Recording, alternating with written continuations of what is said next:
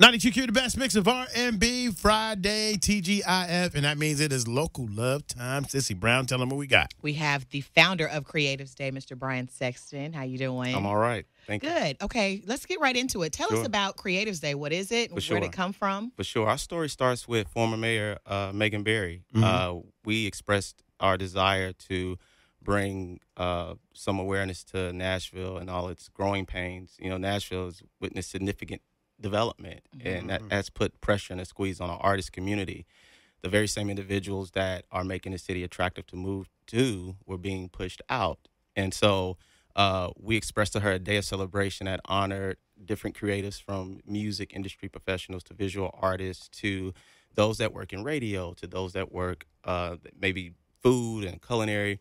And she honored that and she kept her word. And so we were able to host the first Creative Day celebration on the campus of Fisk University at the Carl Van Vechten uh, Art Gallery. Uh, big shout out to Jamal Sheets. And what was supposed to be a day of celebration actually turned into a full blown nonprofit. Uh, we took all the feedback that we received from that day, uh, from the silos that were broken. The, the the person in the music industry found out that they had the same affordable housing issue as the person that does theater or the graffiti artist, and those Wow. type, that's the type of dialogue that was happening. And so um, we took that feedback, and in 2017 we rolled that feedback into workshops. So okay, now we know the issues, here are the solutions, and that's kind of where we took flight as a nonprofit organization uh, 2017, we found ourselves in a, a unique position. The Hutton Hotel, uh, the young lady that wrote "Why Don't You Meet Me in the Middle," she wrote that song Mhm. at the Hutton, Oh, wow. and it, it charted up the Billboard. And the Hutton wanted to create more experiences like that um, on a nonprofit level, and reached out to the mayor's office to say, "Hey, there's some really cool organizations out there that are trying to help artists." And she recommended Creatives Day, and so Wow. we we found ourselves in this space of shaping our mission, uh, which is to connect young adult artists to resources and opportunities that foster creativity and financial stability.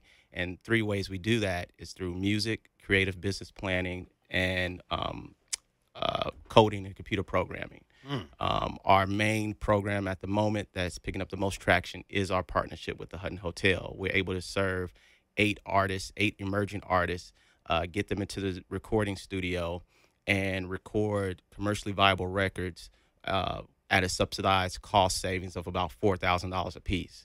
And So is that a good price? That's- oh, absolutely. That's a great price. Uh, Okay. to get into the music industry, you either you know, trust fund baby, or there's some like illegal money behind you, Oh, or no. you you are you you hit the Drake button and you just hot, right? Mhm. But for our artists here, uh, our music community, um, that's why we're incredibly thankful for platforms like 92Q and the work that you all are doing. We need more of that to help the infrastructure to support urban artists. And so our lifting comes from finding those artists that they don't have six, seven thousand dollars to invest in. Mhm. They get into our program and we connect them to some of our corporate partners that have subsidized that cost so that it makes it it makes it easy for them to record records. Now you said young adults, right? Yes, Is there ages an 16 age to 35. 35. 16 to Yes, 35. Because Okay. typically 24 to 25 year old, they whether they have some level of college or not, that's the period where you're trying to figure out and identify who you are and how you navigate this space. Mhm. So we pretty pretty much serve those that may be a little bit introverted, those that may uh, may not have a network. They are incredibly talented, but they just need some development, and, and that's kind of the artists we serve in that capacity. So how can they get in touch with you Sure. to get information? Be a part it? of absolutely, Creatives Day. absolutely. Um, all across all platforms, Creatives Day. Uh, And that's with an S. that's with an S. plural. Creatives with an yes, S. creatives with an S. Uh, every uh, third Saturday in October, we have our Creatives Day celebration. Uh, we do that in partnership with the Nashville Public Library, as well as the Adventure Science Center that will be hosting the celebration at this year.